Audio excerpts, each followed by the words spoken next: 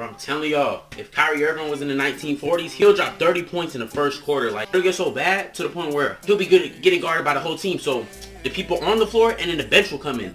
They'll start guarding him, but he'll still be saucing up. What? What? Oh yeah, between the legs. What you? What? hey, lay.